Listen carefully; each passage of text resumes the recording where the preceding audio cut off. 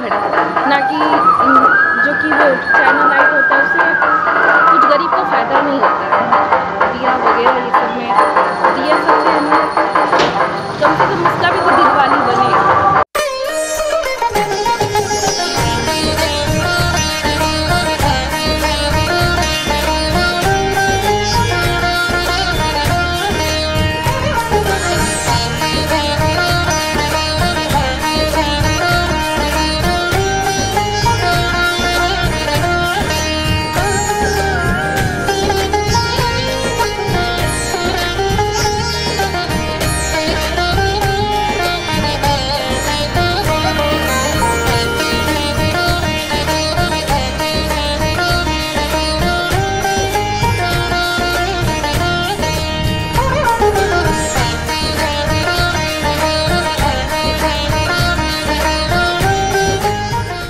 दीपों का पर्व दीपावली जिसको लेकर के खासा उत्साह बच्चे में देखा जा रहा है।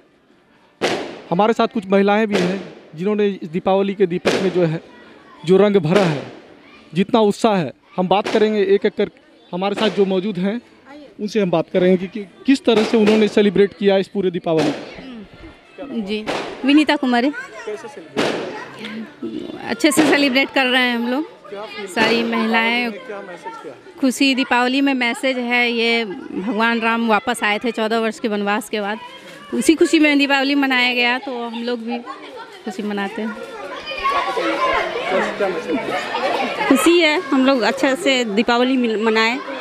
और हम लोग को बहुत अच्छा लग रहा है, हम लोग का मोहल्ला बहुत अच्छा है। हाँ। चलिए हम बात करते हैं, कुछ और लोग हैं हमारे साथ में। ये बहुत अच्छा फील हो रहा है। सभी मिल सभी लोग मिल के हम लोग सभी दीपावली मना रहे हैं सभी परिवार लोग मिल के बहुत अच्छा लग रहा है। और कोरोना काल के बाद ये दीपावली आई। कोरोना के बाद जो है एक उमंग जो उल्लास था लोगों में वो कहीं ना कहीं वो उल्लास नहीं दिख रहा था लेकिन ये पहला दीपावली है। इस पहले दीपावली पर क्या कैसा फील कर रहे यहाँ इधर बिहार में भागलपुर में तो बहुत कम ही कोरोना का मिल रहा है चांस और कोई उतना ये डर भी नहीं रहा है कोरोना से। अच्छा लग रहा है, दीपावली हम लोग मना रहे हैं सादगी से और पटाखा सावधानी से छोड़ रहे हैं सोशल डिस्टेंसिंग का पालन करते हुए और सभी हम लोग खुशी हैं, मोहल्लावासी और अच्छा से मना रहे हैं दीपावली, शांति से। आइए हम और कुछ लोगों से बात करते हैं, चूँकि दीपों का ये पर्व है और इसकी क्या महत्ता है। इस महत्ता के बारे में जानते हैं। आज का दिन जो है ना हमारे संस्कृति का एक जो है अहम हिस्सा है। और इस संस्कृति के द्वारा हम ये चाहेंगे कि हमारा आपसी जो सद्भाव है वो समाज का देश का अक्षुण्ण रहे। बस हमारी यही कामना है इस त्यौहार में। धन्यवाद। मैंने अपने फैमिली के साथ सेलिब्रेट किया। जनरली मैं बाहर रहती हूँ। पर दिवाली में मैं हर साल घर पे रहती हूँ तो बहुत अच्छा लगता है मुझे यहाँ पे आके। तो दिए जलाओ मिठाइयाँ खाओ पटाखे मत फोड़ो। आज का जो पर्व है कोरोना के बाद जो स्थिति बनी थी कहीं न कहीं जो है लोगों के चेहरे की रौनक जो है वापस हो गई थी। आज ये पहला दीपावली है कोरोना के बाद। हम कुछ लोगों से और बात करते हैं। इसके बाद देखते हैं कि बच्चों में किस तरह का उत्साह। चलिए पहले हम बच्चों से ही बात करते हैं कि बच्चों में किस तरह का उत्साह।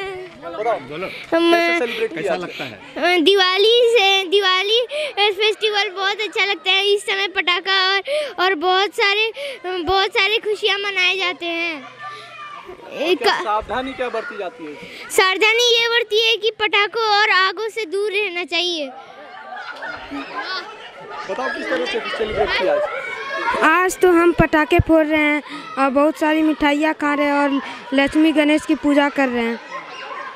और और घर को झाला से सजा रहे हैं। क्या नाम है बेटा बताइए। आदृदर्श आदित्य क्या आज- आज? आज। पटाखा फोड़ने से बहुत नॉइज़ पोल्यूशन होता है। बहुत पोल्यूशन भी होता है। इसलिए पटाखे कम ही फोड़े तो ज़्यादा अच्छा है। बहुत बढ़िया बहुत बढ़िया। आप बताइए। मैं तो कहता हूँ पटाखा ज़्यादा छोड़ना चाहिए तो ठीक है। उससे था पोल्यूशन होगा तो मानता हूँ लेकिन थोड़ा बच्चे हैं तो पोल्यूशन तो करेंगे।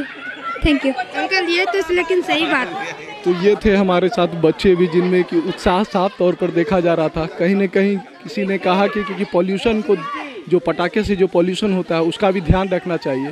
तो ये हमारे आइए एक, एक बार और जो है हम बात करते हैं। हमारे पीछे महिलाएँ हैं उनसे भी बात कर लें। क्या सर? सर आज बहुत अच्छा फील हो रहा है हमें।